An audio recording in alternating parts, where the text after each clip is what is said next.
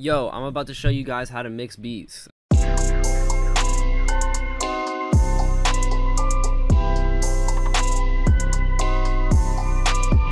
one is I'm going to solo the 808.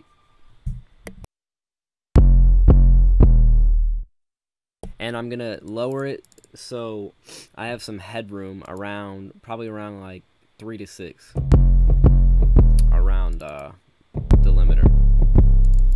When you're mixing, you never want to mix all your stuff, is what they tell you. This is what they tell you. They tell you never want to mix your stuff all the way up because then all the artifacts they get crushed and then they get squashed.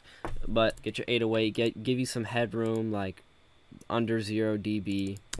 Then bring in your clap right after that. You don't want to have your clap too loud to where, you know, it's outshining your 808, but you don't want it too quiet. So you just want to level it around right the same. And I always make sure my claps are pretty crispy. So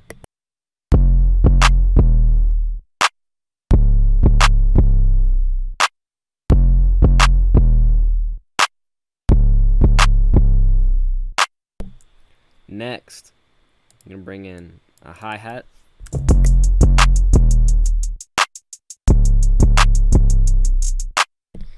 You don't want your hi-hats too loud to where your 808s are quiet, and you don't want them too quiet to where you can't even feel the bounce. Don't ever mix your beats based off the levels you see in front of you, like visually, the meter, oh, I need to put this one half an inch lower than this one. No, you should never do that because every sound has a different, you know, volume to it because they're all exported at different volumes and different amplitudes, whatever. So then I'm just going to bring in my percs and keep them tucked in the background.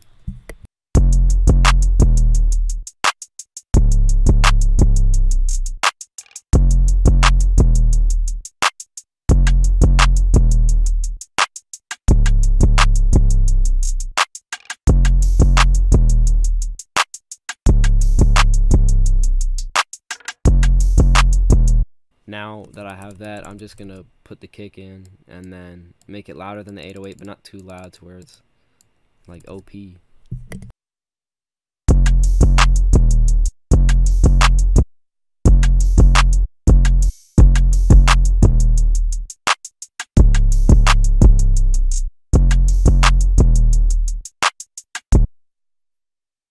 And then after I do that, then I bring my melody in.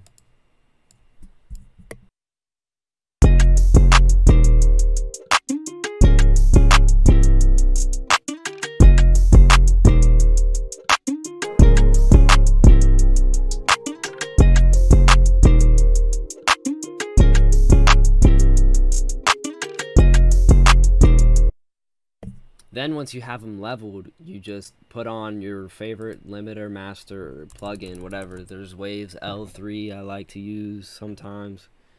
iZotope, it doesn't matter. You can use Maximus. They all do the same thing.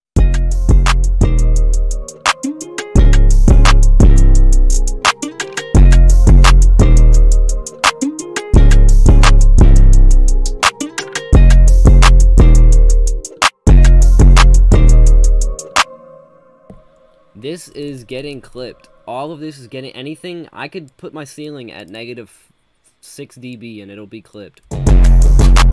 Because that's how my that's how my envelope is. My attack is 0, release 0, like everything's it's just quick.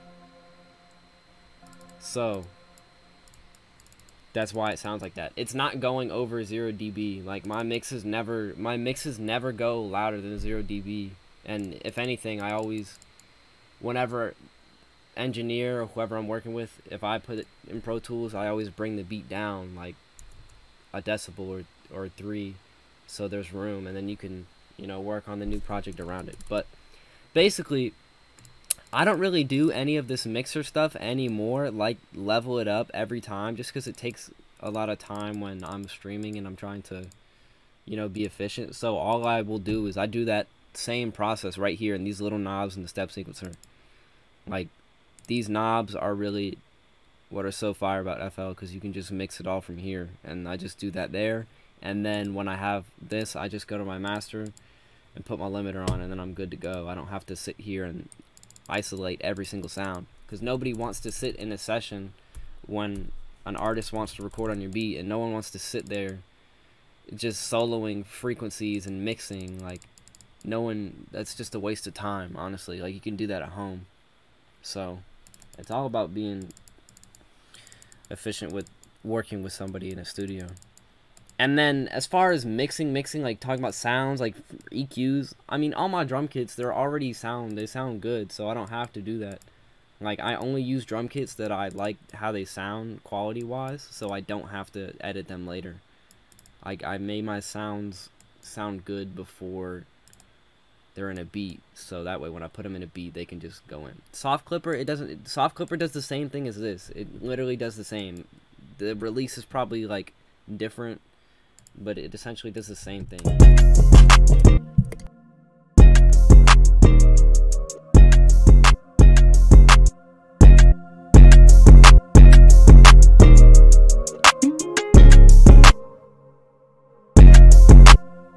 Like they all do the same thing. And if your beats are sounding like bad quality, you just and it's because you, your mix.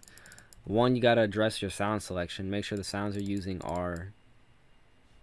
They have the right frequencies for what you need. Like your claps don't need a bunch of low end in them. Your hi hats don't need any low end. They're all high. Your claps should have high end in them. I always boost them extra just so they're really crispy.